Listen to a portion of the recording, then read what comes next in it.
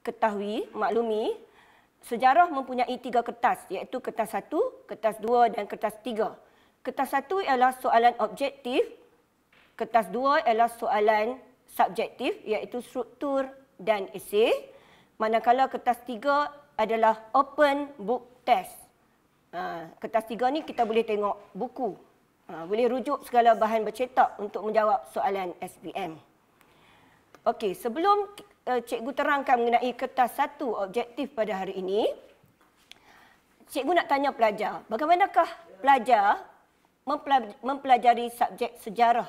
Apakah teknik pembelajaran pelajar? Ada pelajar cikgu bertanya, cikgu sebab apa saya baca buku tapi tak boleh nak masuk-masuk, tak masuk, tak faham. Jadi kita kena tengok balik, adakah kaedah pembelajaran yang uh, pelajar gunakan tu bersesuaian atau tidak uh, dengan pelajar. Setiap pelajar dia mempunyai cara belajar yang berbeza. Nah, jadi hari ini yang pertama adalah kuasai teknik membaca yang berkesan. Bagaimanakah hendak membaca membaca dengan berkesan? Yang pertama ialah garis isi penting. Garis isi penting maksudnya pelajar dia tak baca macam tu saja. Sambil baca dia akan garis isi-isi penting sama ada pada buku rujukan atau segala bahan nota dia. Dia akan garis ataupun highlight. Gunakan pen warna-warni cikgu galakkan. Yang kedua, buat mind mapping, peta minda. Peta minda ni sambil kita baca, kita buat peta mapping, mind mapping. Ini contohnya, sumbangan tamadun Mesopotamia. Yang ketiga, gunakan stiker note. Sekarang ni banyak dijual di kedai-kedai kan, stiker note berwarna-warni. Gunakan stiker note untuk membuat nota-nota kecil dan kita tampal pada nota kita, pada buku kita, buku rujukan kita. Dan membaca dengan kuat dan berulang-ulang. Baca dan baca dengan kuat serta berulang-ulang. Ini juga satu kaedah yang boleh digunakan terutamanya jika pelajar masa uh, ulang kaji tu uh, mengantuk kan bangun, berdiri, baca kuat-kuat secara berulang-ulang. Ha, okey, seterusnya bagaimanakah cara belajar mata pelajaran sejarah yang berkesan? Yang kedua ialah latihan yang cukup. Cikgu sebut latihan yang cukup. Maksudnya latihan yang berulang kali. Untuk kertas satu, kertas dua, soalan kebat dan kertas tiga. Dan pelajar juga perlu membuat soalan latihan tahun lepas iaitu 2010 hingga 2019 supaya pelajar dapat menguasai format soalan dan juga soalan SPM terutamanya kertas satu soalannya berulang-ulang. Ha. Okey ini uh, kertas soalan lah. Ha, kertas satu, kertas dua dan kertas tiga. Okey seterusnya cara mengingat dan memahami faktor sejarah yang sesuai ada beberapa kaedah cara mengingat dan memahami faktor sejarah yang bersesuaian. Iaitu yang pertama perbincangan dengan guru atau rakan. Ha, tapi sekarang ni musim PKP kan. Jadi pelajar tidak digalakkanlah untuk berkumpul beramai-ramai, berbincang dengan rakan. Jadi kita gunakan media sosial. Contohnya sekarang ni ada Google Classroom, ada Zoom meeting, Hangout meeting. Jadi ini WhatsApp, jadi pelajar boleh gunakan semua media sosial untuk berbincang dengan pelajar, dengan rakan-rakan dan juga guru. Kemudian, ada satu lagi kaedah untuk mengingat faktor sejarah iaitu kaedah mnemonik. Kaedah mnemonik contohnya sumbangan tamadun Mesir Purba. Apa sumbangan tamadun Mesir Purba? Yang pertama pembinaan piramid. Yang kedua tulisan hieroglif. Yang ketiga kertas. Yang keempat, kalen, kalender. Jadi macam mana nak ingat um, faktor-faktor ni dengan mudah? Ada pelajar, dia menggunakan kaedah mnemonik. Dia tukarkan piramid tu P jadi pioh. Hieroglif H tu hilang. Kertas K jadi kebas. Kalender K, nah, kaki. Jadi pioh hilang kebas kaki. Jadi semasa menjawab soalan peperiksaan, dia pun akan ingat Oh, sumbangan tamadun Mesir Purba, pioh hilang kebah kaki. Uh, pioh tu apa dia? Pioh tu piramid. Uh, hieroglif tu hilang. Kertas kebah. Kalender kaki ini satu kaedah mnemonik yang sangat bersesuaian digunakan untuk mengingati fakta. Kaedah seterusnya ialah kaedah gesture. Ha, apa itu kaedah gesture? Kaedah gesture ialah kaedah gerak badan. Ha, cikgu nak tunjukkan kepada pelajar-pelajar kaedah gesture ni. Contohnya dalam subjek sejarah, apakah maksud imperialisme? Apakah maksud imperialisme? Maksud imperialisme ialah dasar sesebuah negara memperluaskan pengaruh dan wilayahnya dengan menjajah negara lain untuk kepentingan tertentu. Cikgu ulangi. Apa maksud imperialisme? Dasar sesebuah negara memperluaskan pengaruh dan wilayahnya dengan menjajah negara lain untuk kepentingan tertentu. Oh, jadi pelajar pun diingat kalau masa peperiksaan nanti kan. Apa maksud imperialisme? Oh, ini. Ini. Ini. Ini. Ha, jadi dia akan ingat masa periksa. Itu maksud imperialisme. Satu lagi contoh kaedah gesture ialah uh, faktor-faktor imperialisme di Asia Tenggara. Apa sebab penjajah nak jajah Asia Tenggara? Beban orang putih. Beban. Kemudian persaingan kuasa barat. No? Persaingan kuasa barat. Kemudian uh, kemajuan sistem pengangkutan dan perhubungan. Uh, ini salah satu cara nak mengingatlah uh, faktor sejarah. No? Iaitu menggunakan kaedah ges, gesture. Cikgu galakkan pelajar yang dia kalau dia belajar sejarah tu dia mengantuk kan. Gunakan kaedah gesture untuk mengingati faktor sejarah. Rekalah. Kamu reka sendiri kaedah uh, apa gerakan-gerakan ni. Ini akan apa um, menyebabkan kamu lebih mudah faham dan ingat faktor sejarah. Dan seterusnya ialah kaedah melukis. Ada pelajar dia suka melukis. Jadi gunakanlah uh, minat kamu terhadap melukis tu dengan melukis faktor sejarah fakta sejarah ditukar kepada lukisan. Contohnya, kepentingan tasik Tonle Sap. Ha, dalam gambar ni dia ada tunjuk apa kepentingan tasik Tonle Sap. Bekalan, sumber protein, tanah subur, uh, padi, boleh tanam padi di tanah subur, sistem pengairan, ada air minuman. Dalam tasik Tonle Sap tu ada air minuman. Ha, inilah dia kaedah melukis. Jadi pelajar yang berminat dengan lukisan ni, cikgu galakkan buatlah lukisan sejarah banyak-banyak supaya kamu lebih mudah pa faham. Dan kaedah seterusnya ialah kaedah nyanyian. Ada pelajar suka menyanyi. Jadi dia boleh reka lagu sejarah untuk ingat fakta sejarah. Contohnya lagu Tamadun Indus ni. Iaitu menggunakan lirik lagu Anaklah Ayam. Mari kita menyanyi bersama-sama pelajar.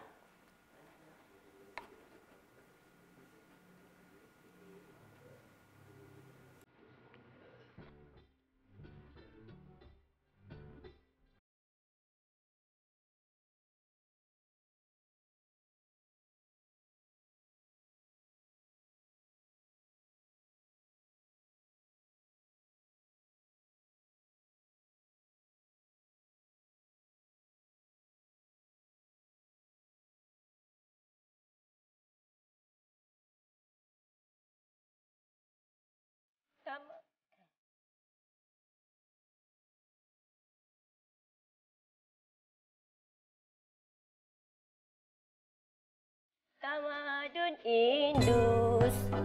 Tamadun Indus bandar terancang. Dua bahagian Dua bahagian dikeliling tembok. Bahagian utama Bahagian utama pusat pentadbiran Bahagian kedua, bahagian kedua kawasan perumahan.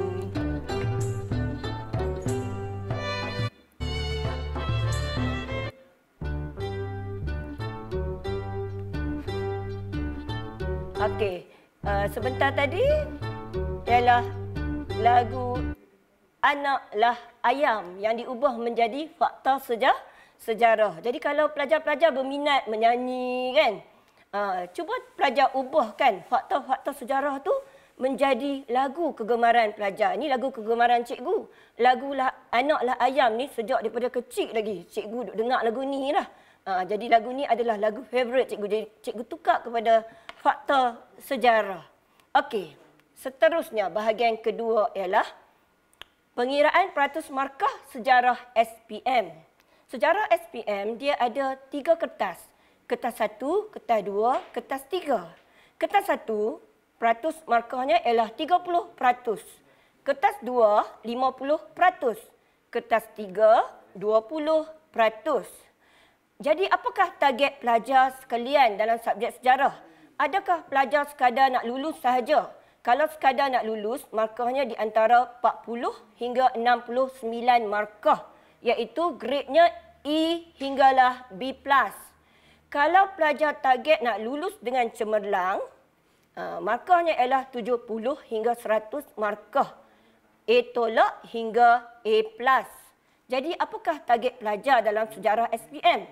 Untuk menentukan target pelajar dalam sejarah SPM, Ha, kita mesti ada target. Contohnya, cikgu bagi jadual di sini. Katalah pelajar, seorang pelajar target nak dapat 40 markah kan. Iaitu dia target, dia nak dapat E saja. Dia nak lulus saja sejarah ni. Jadi kalau kertas tiga dia, dia betul 60 per 100, dia akan dapat 12 markah per 20. Jadi kertas satu dia mesti betul 10 dan dia akan dapat 8 markah untuk kertas satu. Dan kertas dua dia, dia mesti dapat 40 per 100. Ha, iaitu markah dia ialah 20. Jadi dia akan berjaya dapat 20 markah. Ha, begitulah seterusnya. Jadi pelajar-pelajar kena tahu apa target pelajar untuk subjek sejarah.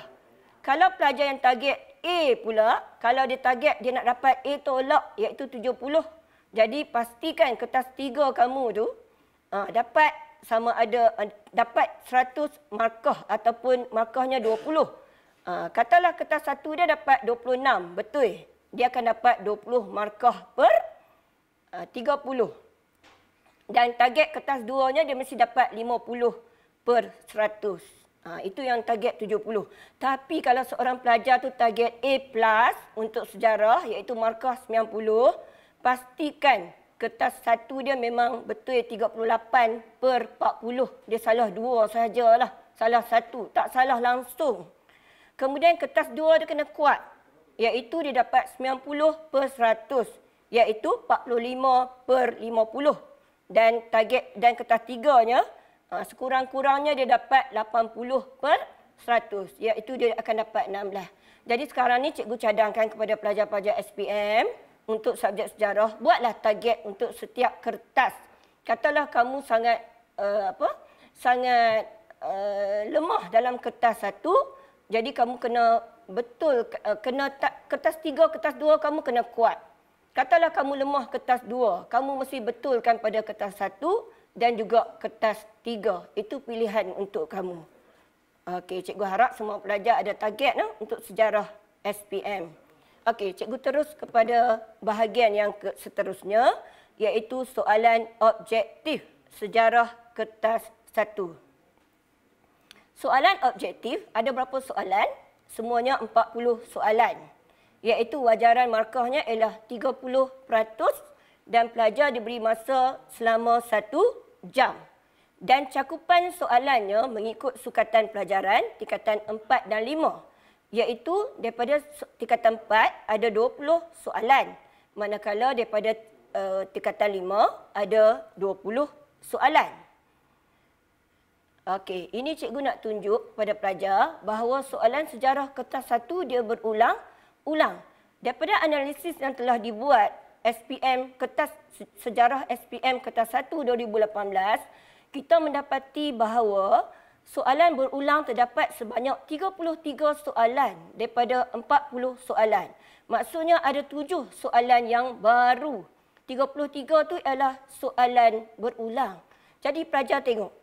Kalau pelajar biasa buat soalan past year atau soalan tahun-tahun lepas, pada masa hari peperiksaan, cikgu selalu cakap macam ni. Semasa hari peperiksaan, pelajar akan merasai bahawa kertas satu ni sangat senang.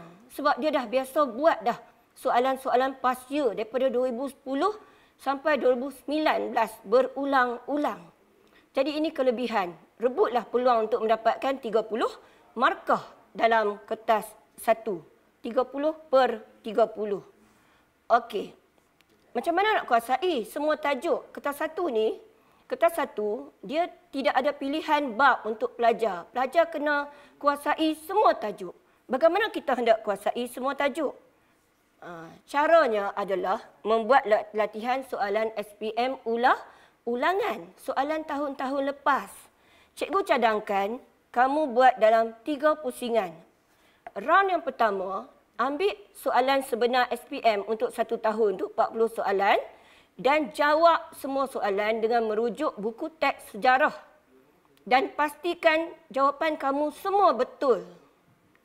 Okey, dah habis buat round pertama tu, kamu buat pula round yang kedua, kedua iaitu jawab 40 soalan yang sama yang dibuat tadi tanpa merujuk buku teks. Kita nak tengok betul berapa. Katalah pelajar uh, salah empat, uh, salah lapan. Maksudnya ada lagi soalan yang dia tak kuasai. Jadi buat pula round ke round ketiga. Jawab soalan yang sama tanpa melihat buku teks dan pastikan betul semua. Ha, cikgu jamin lah insyaAllah kalau pelajar buat semua soalan-soalan pasir objektif ni, pelajar memang akan skor dalam kertas satu. Ya? Ha, itu cadangan cikgu. Okey, ada satu lagi, ini yang pelajar-pelajar yang dekat-dekat sungguh SPM ni, dia tak ulang kaji lagi untuk kertas satu. Kertas satu ni dia buat tak kisah. Ha, jadi, ada satu lagi cara, iaitu latihan ulangan secara ekspres.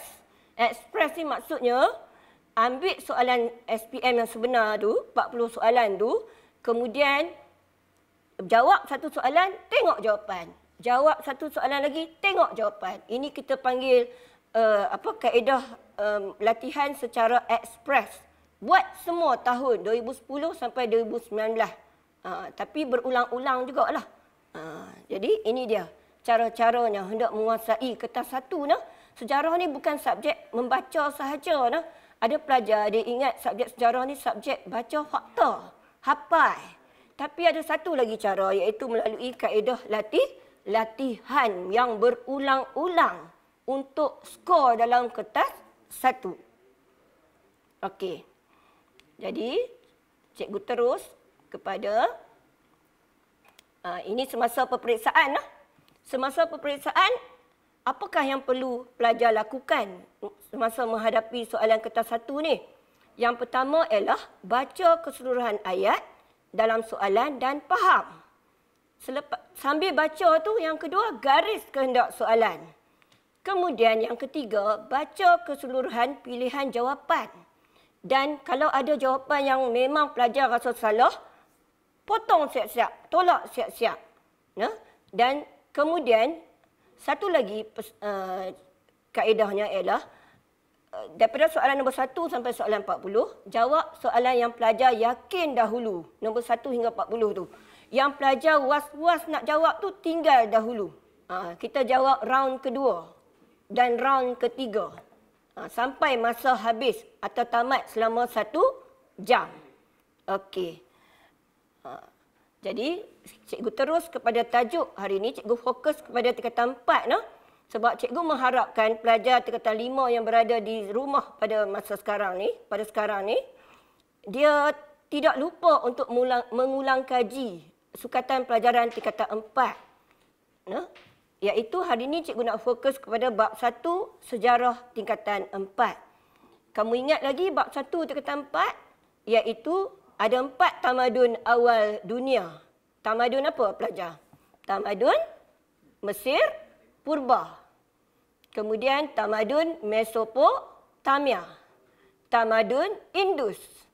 Tamadun Huang Huang Ho. Ada empat tamadun awal dunia. Kita tengok tamadun awal Mesopotamia dulu, ciri-cirinya. Tamadun awal Mesopotamia, dia terletak di lembah dua sungai, iaitu sungai Tigris dan Euphrates. dia terdapat pusat kota, tembok kota, luar kota dan pelabuhan. Dan negara kota dia ada kubu pertahanan dengan pelbagai bentuk pintu gerbang. Pintu gerbang ni melambangkan kekayaan sesebuah tamadun. Dalam kota ada istana, ada rumah kediaman, ada rumah ibadat, ada rumah kedai, pasar serta jalan raya yang lu, lurus. Kemudian ada pusat kota ialah rumah ibah, ibadat.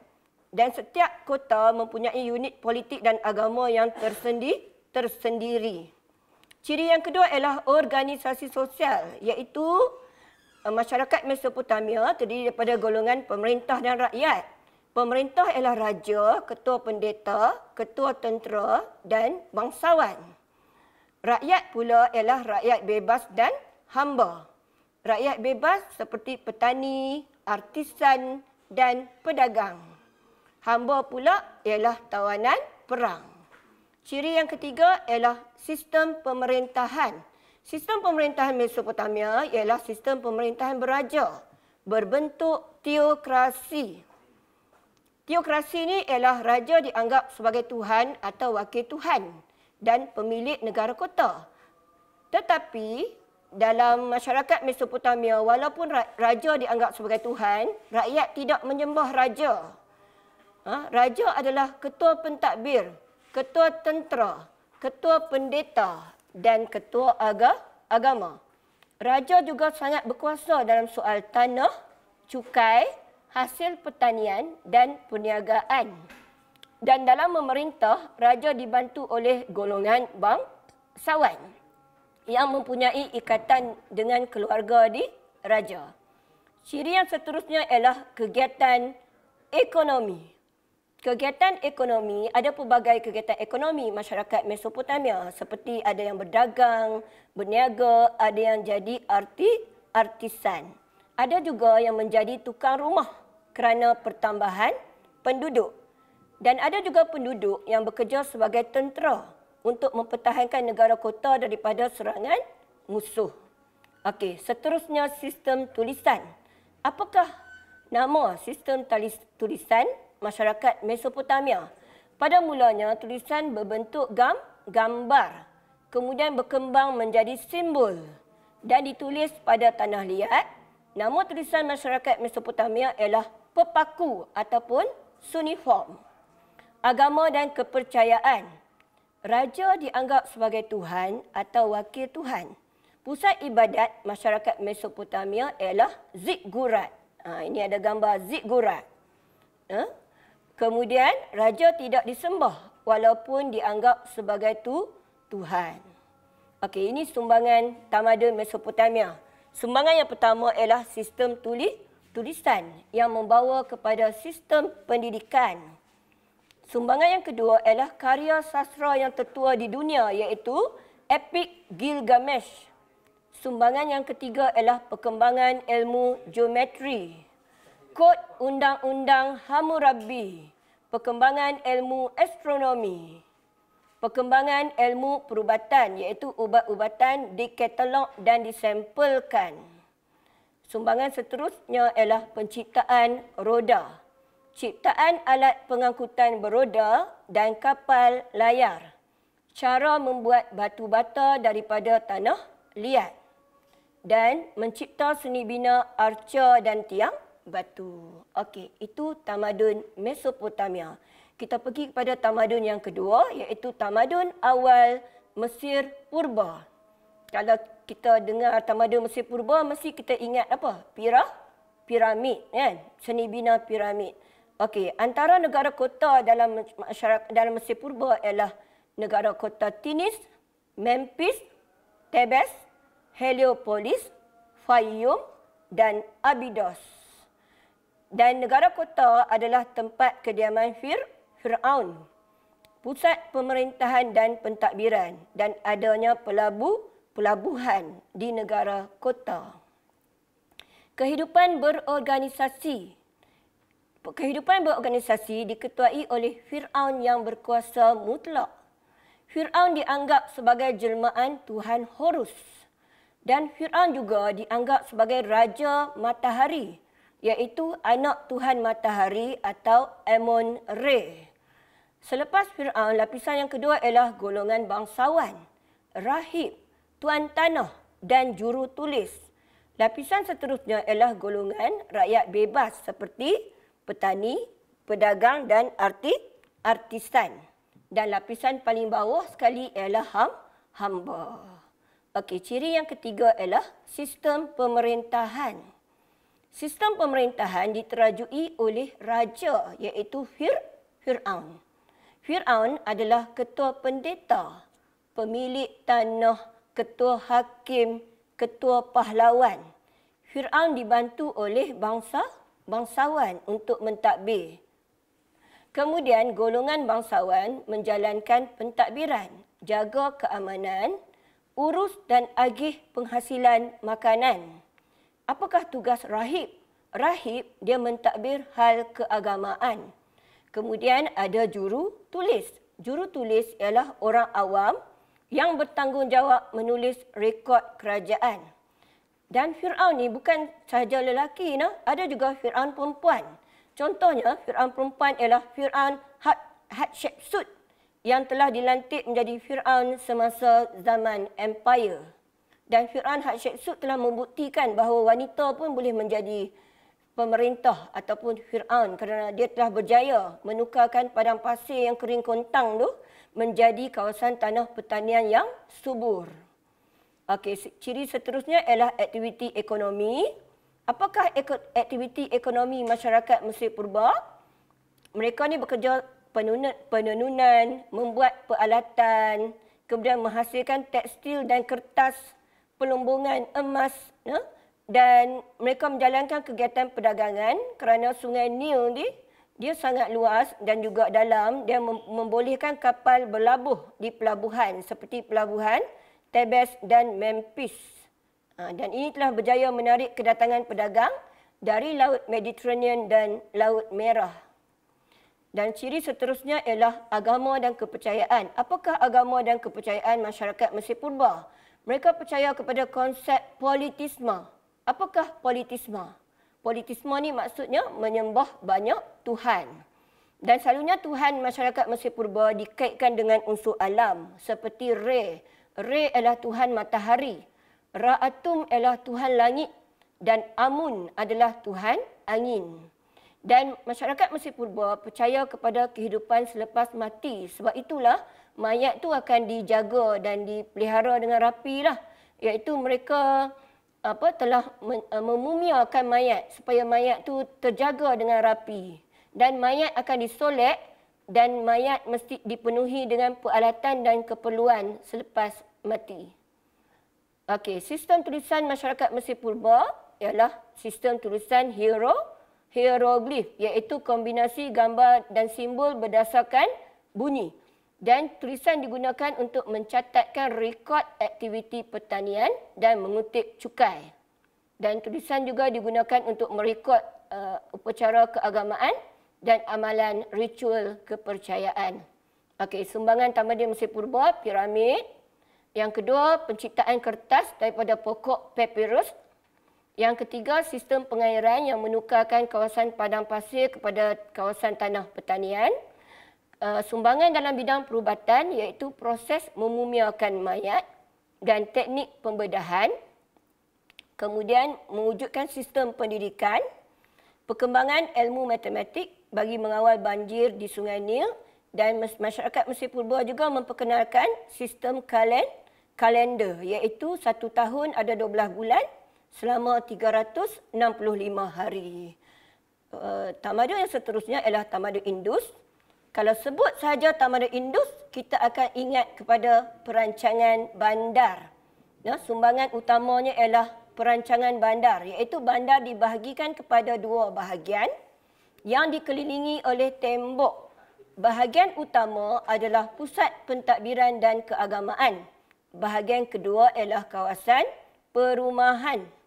Dan bandar disusun berasaskan blok berbentuk segi empat dan blok dipisahkan oleh satu jalan raya yang lurus dan bersambungan antara satu dengan lain.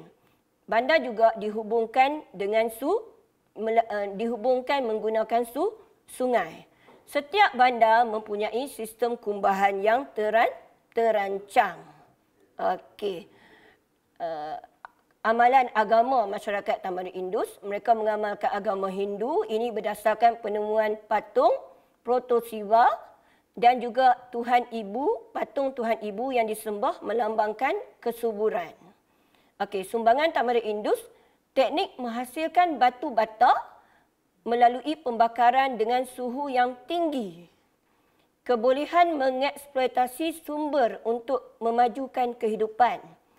Bandar terancang, contoh bandar terancang dalam Tamadun Indus ialah bandar Harappa dan Mohenjo-Daro.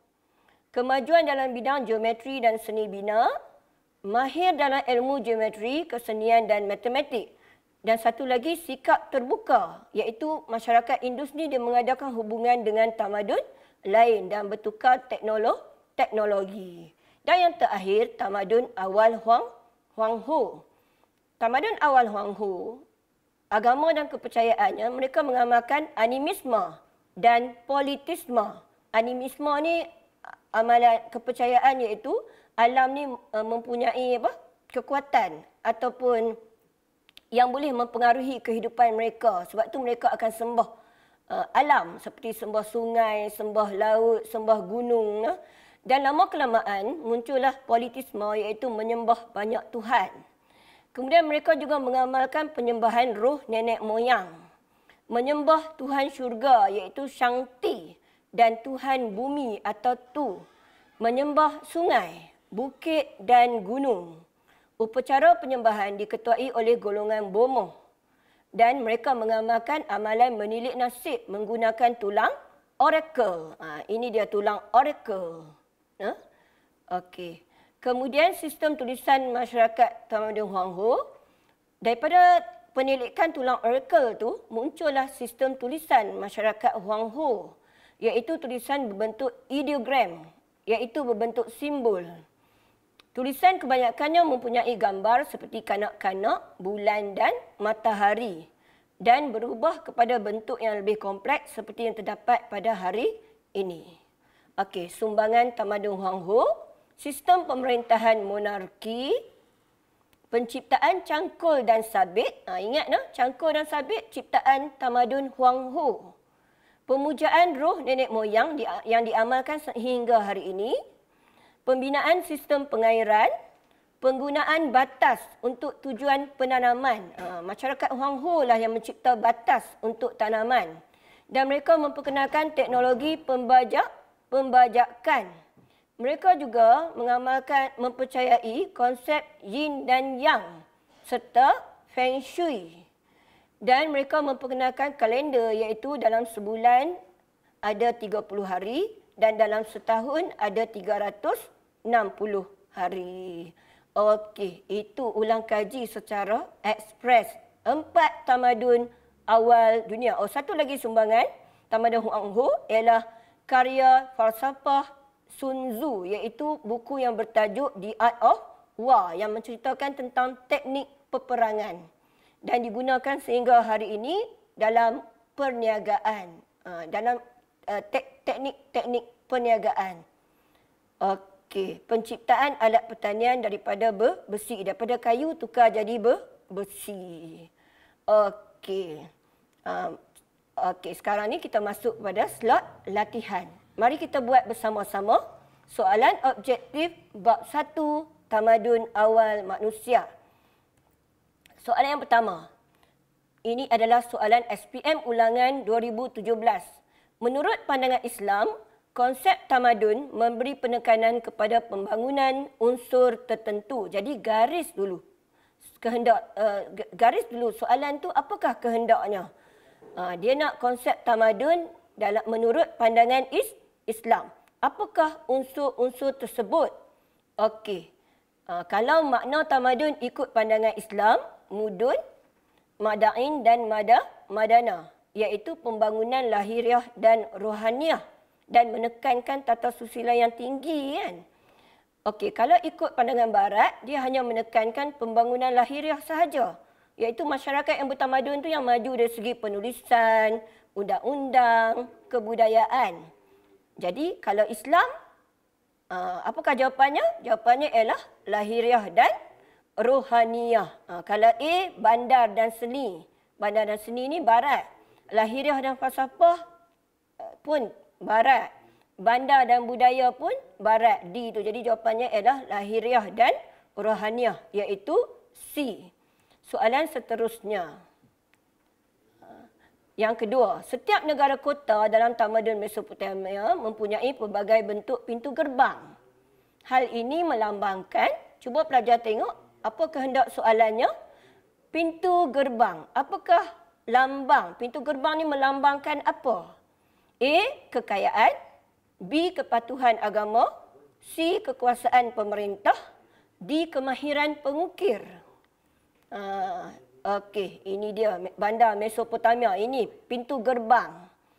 Apakah lambak yang dilambangkan oleh pintu gerbang ni?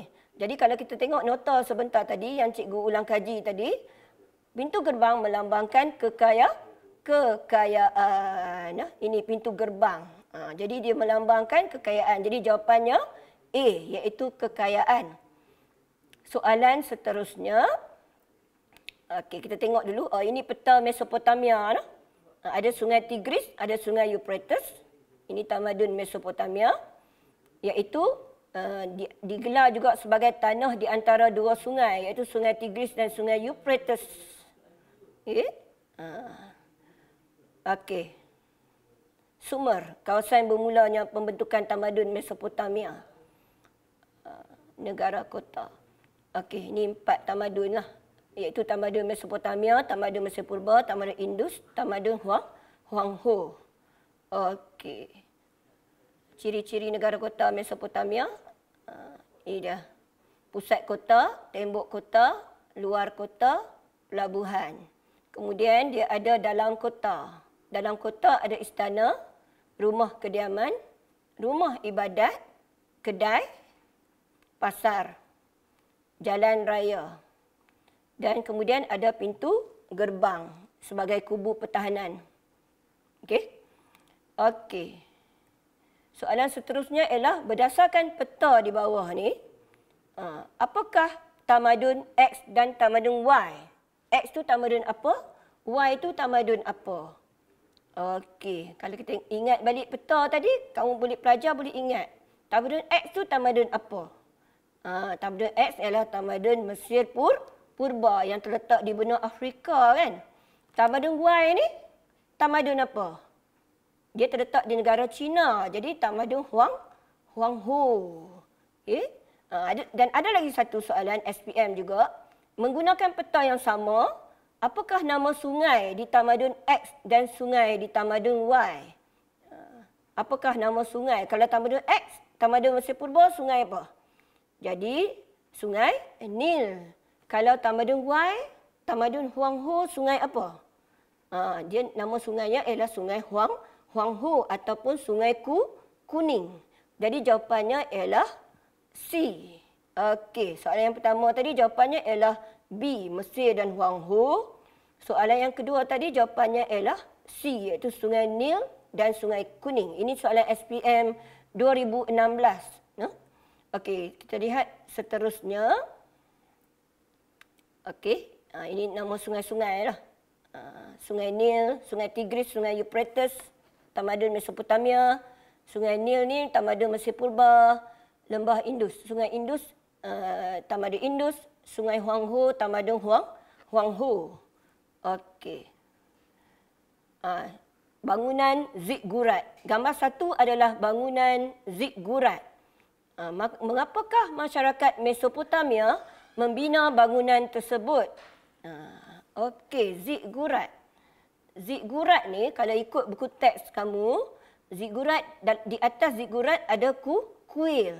Jadi kuil mestilah upacara apa? Beribadat untuk masyarakat Mesopotamia. Ah, kepentingan ziggurat ialah pusat beribadat, pusat perdagangan dan juga pusat menyimpan khazanah negara. Ha, jadi, manakah jawapan yang betul? A.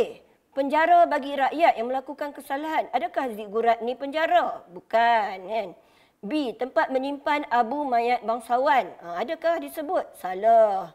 C. Kubu pertahanan dari serangan musuh. Adakah zigurat ni kubu pertahanan? Oh, bukan. D. Menjalankan upacara keagamaan. Jadi jawapannya mestilah D. Nah, menjalankan upacara keagamaan. Okey, soalan seterusnya. Kedua-dua bandar berikut terdapat dalam tamadun Indus. Mohenjo-daro, Harappa. Apakah faktor kemajuan bandar tersebut? Ha, apakah sebab uh, Mohenjo-daro dan Harappa ni maju sebagai sebuah bandar? A. Pertambahan penduduk. Adakah kerana pertambahan penduduk? Okey, Mohenjo-daro dan Harappa ni ialah bandar teran, terancang. Terkeluar jawapan dah. Okey, adakah pertambahan penduduk? Bukan kan? Penguasaan ilmu geometri. C. Perubahan struktur organisasi. Oh bukan, perubahan struktur organisasi tak pernah sebut. D. Perkembangan sistem pengangkutan. Oh tak berkaitan. Jadi bandar terancang ni dia mestilah ada ilmu geometri. Jadi jawapannya ialah B iaitu penguasaan ilmu geometri. Okey. Seterusnya uh, ini dia bandar apa? Mohenjo-daro atau Harappa lah. Bandar terbahagi kepada dua bahagian. Bahagian utama ialah pusat pentadbiran, tempat mandi awam, tempat menyimpan hasil pertanian. Manakala bahagian kedua ialah kawasan perumah, perumahan. Ha, kawasan perumahan. Dan disusun ikut blok segi empat dengan begitu sistematik sekali lah. Ha, ini bandar dalam masyarakat tamadun in Indus ha, dan dipisah oleh jalan raya. Mengapakah mereka ni mampu membina bandar yang tersusun ni? Sebab mereka ni ada ilmu geometri dan ilmu seni, bi, seni bina. Dan mereka juga mengamalkan sikap terbuka kan? Jadi mereka bekerjasama dengan tamadun Mesir dan tamadun Mesopotamia sambil bertukar-tukar teknologi dalam proses pembinaan bandar. Okey. Dan bandar dikelilingi oleh tem tembok. Ha. Okey, soalan seterusnya. Bagaimanakah ciri kehidupan bandar yang bertamadun menurut pandangan cendekiawan Islam? Ikut cendekiawan Islam. Kalau ikut pandangan Islam, masyarakat yang bertamadun tu, maksud tamadun dia berasal daripada bahasa Arab iaitu mudun, madain dan madana iaitu pembangunan lahiriah dan rohaniah mempunyai tata susila yang tinggi. Ikut pandangan masyarakat barat pula, masyarakat yang bertamadun tu ialah masyarakat yang membangun dari segi lahir lahiriah. Contohnya maju dalam bidang penulisan, maju dalam undang-undang dan juga kebudayaan. Ya. ya. Okey, jadi apakah jawapan? Ha, Ciri kehidupan bandar bertamadun jawapannya ialah D. Ketinggian tata susila masyarakat. Ah, okey, soalan seterusnya. Masyarakat dalam tamadun Indus telah berjaya membina bandar terancang tertua di dunia. Kemampuan masyarakat dalam tamadun tersebut membina bandar terancang adalah disebabkan oleh... Uh, sebab apa boleh bina bandar terancang ni? Satu, amalan sikap terbuka. Dua, pertembungan dengan budaya lain. Tiga, peluasan wilayah pemerintahan. Empat, kejayaan kegiatan penjelajahan. Ha. Jadi bandar terancang dalam Tamadun Indus ni bandar apa? Harappa dan Mohenjo-daro. Dan kalau kita ingat sumbangan masyarakat Tamadun Indus, dia bersikap terbuka dan iaitu bertembung dengan budaya lain menyebabkan berlakunya pertembungan dengan budaya lain. Jadi sangat jelas, no? tamadun lain tu ialah tamadun Mesir dan Mesopotamia. Ha, faktor kejayaan membina bandar terancang sebab apa? Pemahaman ilmu geometri, ilmu kesenian dan matematik, kemajuan dalam ilmu geometri dan pembinaan ya, dan juga sikap terbuka masyarakat tamadun ini Indus iaitu mereka berhubung dengan tamadun luar iaitu Mesir dan Mesopotamia. Jadi rasa-rasa jawapannya apa? Ha, kan rasa mesti tepatlah jawapan kamu. Ha, iaitu ha, kesan daripada uh, sikap mereka yang terbuka tu dan mereka telah bertembung dengan tamadun lain. Jadi jawapannya ialah A iaitu satu dan dua. Ha, sangat tepat jawapannya satu dan dua iaitu A. Kemudian soalan seterusnya. Raja satu menerangkan pertembungan tamadun Indus dengan tamadun awal yang lain. Tamadun Indus telah bertembung dengan tamadun Mesopotamia dengan tamadun Mesir purba. Apakah kesan pertembungan tersebut? Kesan pertembungan tamadun Indus dengan tamadun lain. A. Kawasan pemerintahan meluas. B. Bidang sastra berkembang. C. Teknologi pertanian maju di bandar terancang dibina. Kamu rasa jawapan mana yang bertepatan dengan tamadun Indus? Ha, jadi bandar terancang dalam tamadun Indus terkenal dengan bandar terancang iaitu Harappa dan contohnya Harappa dan Mohenjo-daro kan. Jadi jawapannya ialah D. Bandar terancang dibina. Okey, soalan seterusnya. Kalau pelajar-pelajar perhatikan, eh, Uh, soalan-soalan yang kita mula buat daripada tadi ada soalan yang dia berulang ulang. Dia perlukan jawapan yang sama lebih kurang sama. Cuma dia tukar apa? Uh, dia tukar ayat sahaja. Dia pusing-pusing sikit aja ayat tu. Jadi kalau pelajar yang biasa buat latihan soalan pasia ni dia akan jumpa. Sebenarnya apa?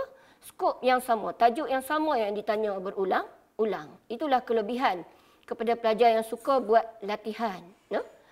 Okey, soalan seterusnya pada zaman dinasti Chao di China, pembesar mesti taat setia kepada raja. Bagaimanakah pembesar membuktikan kesetiaan mereka?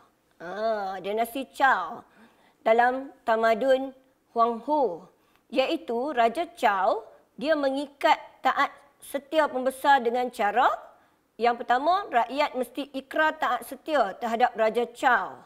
Yang kedua, Raja memberikan hadiah seperti kereta kuda. Ha? Kemudian pembesar menunjukkan taat setia dengan cara melindungi Raja dan memberi bantuan ten tentera kepada Raja. Ha. Jadi jawapannya apa? Memberikan, macam mana pembesar memberikan taat setia kepada Raja? Melalui pemberian bantuan ketenteraan. Ha, kamu kena ingat kalau Raja Chow untuk memastikan rakyat setia kepada dia, dia akan minta rakyat tu ikrar taat setia. Dan juga dia akan memberikan hadiah kepada rakyat seperti kereta kuda, senjata? Ha, binatang. Dia akan hadiahkan kepada rakyat. Okey, soalan seterusnya. Mohenjo-daro dan Harappa adalah bandar terancang yang terawal di dunia. Mengapakah masyarakat tamadun Indus berjaya membina bandar terancang tersebut? Ha, nampak tak soalan ni? Dia berulang kan? Tadi ada dah soalan yang pernah tanya macam ni. Ini soalan SPM 2014. No? Okey, A. Peluasan ajaran agama. B. Sistem pemerintahan teokrasi.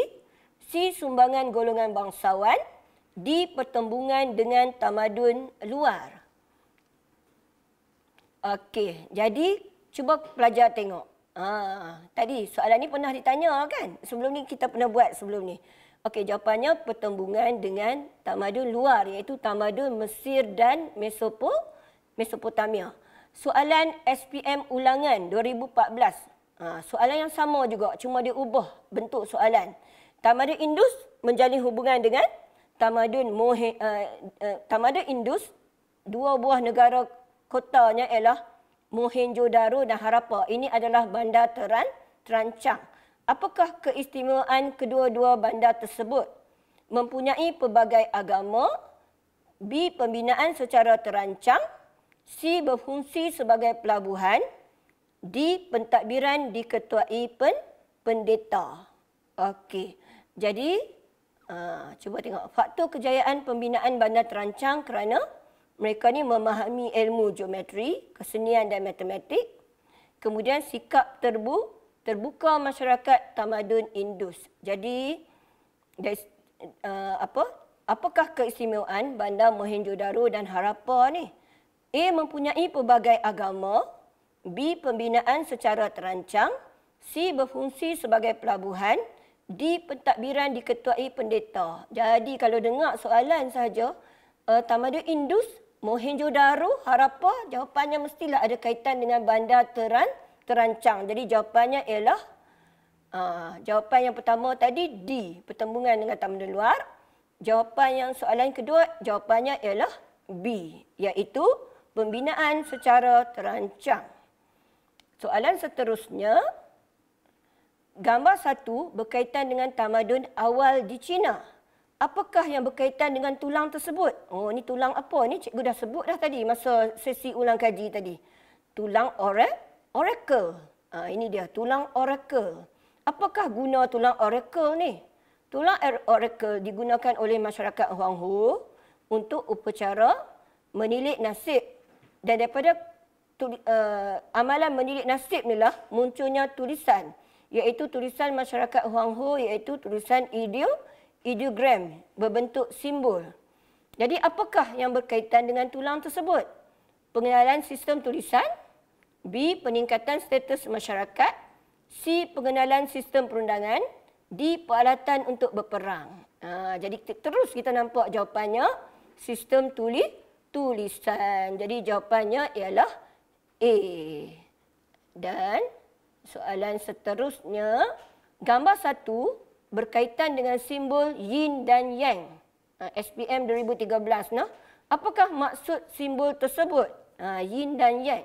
Yin dan yang ni, dia menganggap, masyarakat Cina dia menganggap alam uh, alam semesta dan kejadiannya terdiri daripada dua unsur yang saling melengkapi. Mesti ada dua unsur yang saling melengkapi. Iaitu yin adalah kuasa pasif, yang adalah kuasa aktif. Contohnya kalau ada perempuan, mesti ada lelaki. Kalau ada kalau basah, mesti ada kering. Kalau gelap, mesti ada terang. Nah, jadi jawapannya apa? A. Mandat dari syurga. B. Pemujaan roh nenek moyang. C. Unsur alam yang saling melengkapi. D. Ramalan peristiwa yang akan berlaku. Pelajar rasa jawapannya apa dia? Mestilah unsur alam yang saling melengkapi. Okey, itu dia. Dan soalan yang terakhir untuk kita hari ini.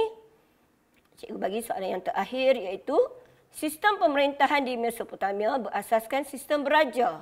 Apakah bentuk sistem beraja tersebut? Mari kita tengok jawapan dia. Ya. Oligarki, oligarki maksudnya pemerintahan oleh konsul. Ni di mana?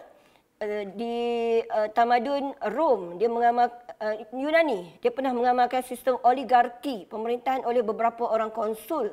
Sistem aristokrasi ialah pemerintahan oleh bangsawan.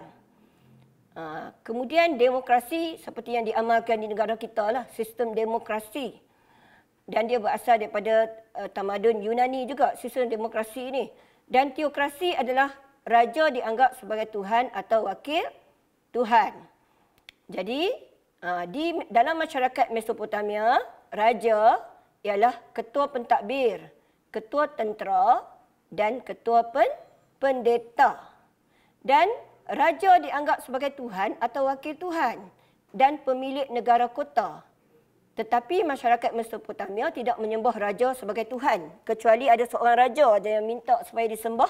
Namanya ialah Raja Naram, Naram Sin. Kerana dia menganggap dirinya sebagai Raja Empat Penjuru Alam. Jadi kamu rasa jawapan yang mana bertepatan dengan soalan ni? Mesopotamia. Ah, raja dianggap sebagai Tuhan atau wakil Tuhan. Jadi jawapannya ialah Teo. Jawapannya ialah teokrasi iaitu D. Okey. Uh, jadi pelajar-pelajar, uh, dapatkah anda lihat bahawa soalan objektif ni dia berulang-ulang. Dia tanya kadang-kadang dia tanya aspek yang sama, cuma dia ubah bentuk soalan saja. Jadi pesanan cikgu adalah sangat penting untuk membuat latih latihan terutamanya soalan-soalan tahun lepas supaya kamu mempunyai kemahir, kemahiran dalam menjawab soalan objek objektif. Ibarat kata orang putih, practice is a fact. Uh, buat latihan tu akan menyebabkan buat latihan yang berulang tu akan menyebabkan kita ni menjadi lebih baik lagi. Jadi sepanjang masa cuti PKP ni, cikgu cadangkan kepada pelajar-pelajar calon SPM tahun ni, buatlah latihan soalan past year, soalan objektif banyak-banyak berulang-ulang. Dan boleh dapatkan soalan tu sangat mudah cara dapatnya. Dalam apa internet pun sudah ada dalam grup-grup Telegram kamu, grup WhatsApp yang diedarkan ke dalam grup WhatsApp di setiap apa sekolah kan. Uh, ada soalan-soalan objektif ni. Jadi gunakanlah kesempatan di masa cuti PKP ni untuk membuat latihan yang sebanyak yang mungkin.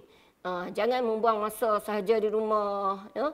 asyik makan, tidur saja.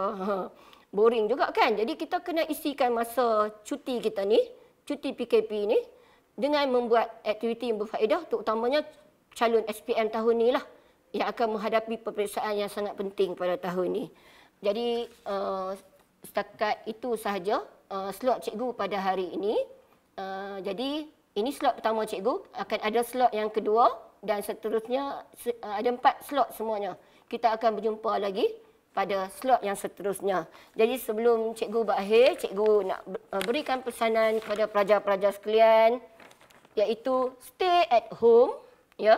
Stay at home, duduk di rumah, supaya kita dapat menghapuskan COVID-19 dan ucapan terima kasih berbanyak-banyak terima kasih.